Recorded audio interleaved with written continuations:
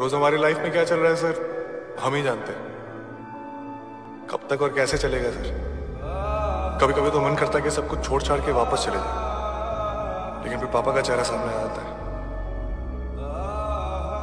रोज रात को जब क्वार्टर लौटते हैं ना सर तो ऐसा लगता है आउट होकर पवेलियन लौट रहे हैं।